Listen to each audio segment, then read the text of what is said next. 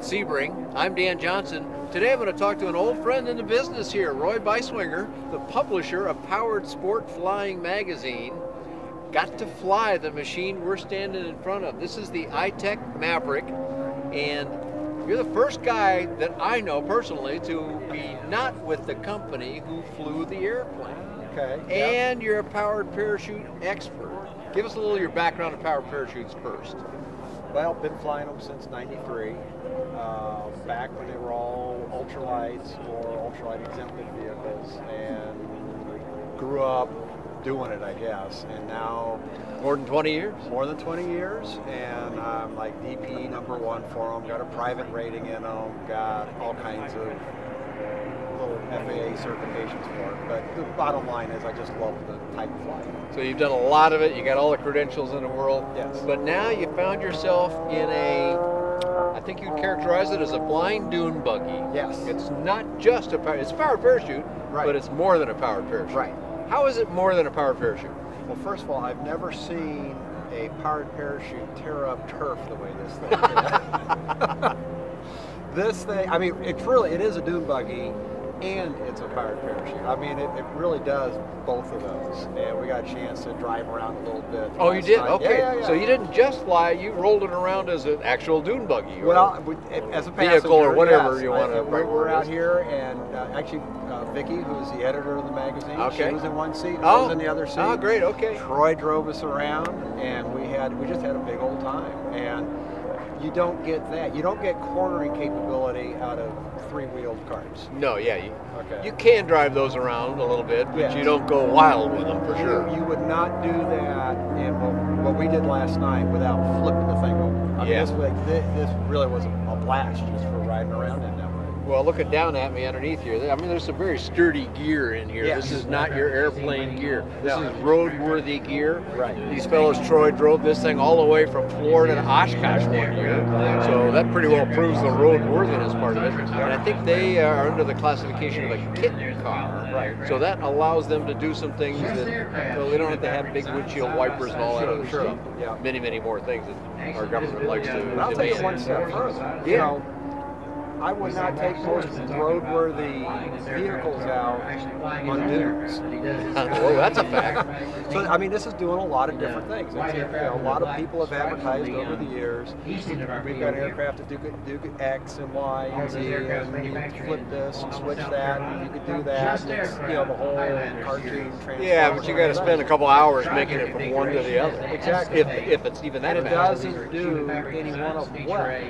Okay. Right. This All one- compromise. That's right. And there's, you know, and I'm sure there's compromises here. Well, there has to be but, something. Uh, It's pretty versatile, it looks It, like. it, it is versatile, and I, I mean, you know, it's, it's built for missions. It's built for rough terrain and, and, and real work. But a lot of the things that make it a really good workhorse make it a little fun. Well, we talked Roy into the front seat, which he didn't get in before, Nope. but he's going to practice like he's already knows a lot about it. In fact, Troy, the fellow who does all the test flying for the company, said, you know a lot. So tell us a lot, Roy. You're sitting in the vehicle now. It looks like you're driving a car to me, except Right. that I recognize this instrument over here. This is the Right. Garmin aera, Yep. and that's an aviation instrument. So Well, you got a steering wheel and uh, yeah, and a Garmin radio over there as well. So what do you know about this as far as not driving it now? That looks pretty obvious. A gas pedal, a steering wheel, you push one and it goes and you turn it. But what do you do when you get in the air? Steering wheel still works. Steering wheel.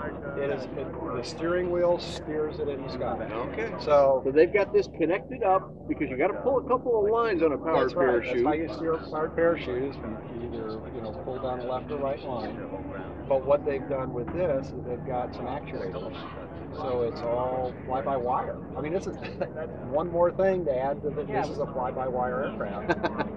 and it does have the backup of flying, you know, physically with pedals the way a typical powered parachute would. So Ah, okay. And is that what these handles here I'm looking at are that's, all those are trim handles. Those are trim And- and handles. those- Okay. So when you're steering this, when you when you turn this this way, you're probably turning the wheels. I can see the wheels You are turning. turning the wheels. But you're also driving a, a mechanical actuator of some kind that is pulling on the lines. That's right. Okay. That's right.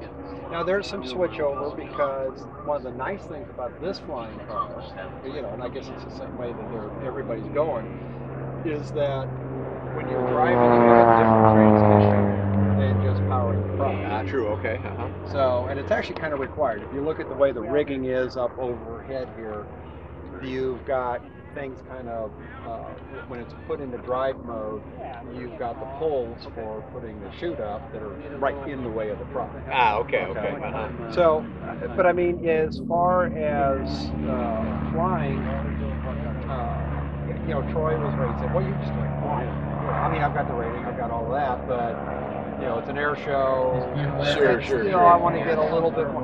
But I mean, working from the back seat as I was flying, he was not working hard. He was having a good time. And and you would understand if, if he had put you in the front seat at a I, at a, at a private field somewhere where there wasn't people watching and so forth. I'm You think he could have done it? I think so. I think in fact I'm looking forward to it. All right. Cool. Okay. Um, but the you know it, the thing that is very very interesting to me sitting in the back seat particularly is that when it took off, normally with a fired parachute there's a big kiting experience. I mean you you're, you're looking You kind of lurch forward and then you kind of stop. Well, but you're watching the chute the whole time. Ah, yeah, yeah, yeah. should be. Yeah. Because you're building this wing. Well, with this machine, wing's already up there. Yeah, you get this big pole that they erect from right around. I guess it's right around here. Yep. Goes way up and holds the leading edge right in the center. And you Right. wouldn't think that'd be enough, but it's enough to so you, you don't go through the Yeah, you're, you're, the you're uh, not- raising of the wing. not going through the kiting part.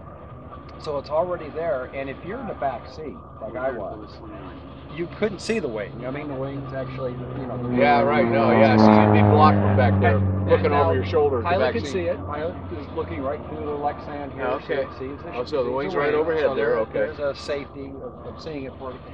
But if you're in the back, it's literally flying car because all you see are wheels.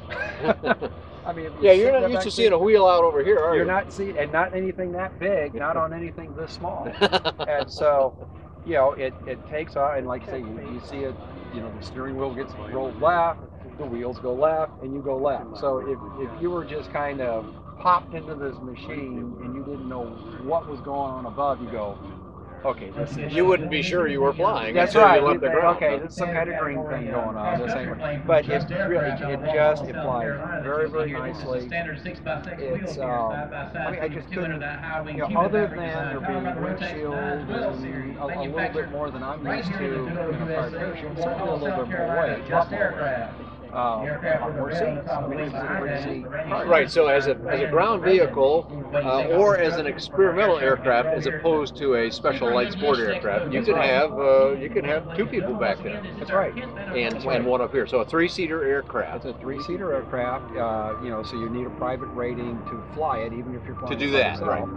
And but they've got the program. Uh, Troy's now an examiner for uh, private pilot, hard parachute. He did that last year, something like that. And so, you know, the rating's available, the aircraft's now available, and that's actually, I think, one of the neat things about this. I mean, with under all the this is new, this is new, this is new, three-seat powered parachutes. Yeah, I think this is the first one that, that really does have three seats, three sets of harnesses, everything, and you have to be, and you can be three real people, nobody sitting on someone's lap. Yeah, yeah, yeah, sure. Like It's that. a genuine vehicle. It is. Well, we'll uh, we'll put up the website for the company as well, just so that uh, we know where they can get more information about the I-TEC Maverick. But uh, what we'd like to do with you in the driver's seat here, and uh, uh, ask you first of all, you're going to write about this in your magazine, I Yes. presume. yes. And where do we find out more about Powered Sport Flying, the magazine? That would be PSF, PSF as in Powered Sport Flying Magazine.com. All right. Find So we're speaking to Roy Beisswenger today. He's the publisher of that magazine. Covers all the light end of aviation very well, from rotorcraft to powered parachutes, fixed wings, and well, a lot more. You really need. If you haven't seen one, you need to get a hold of one. If you have seen it, I'll bet you're enjoying it.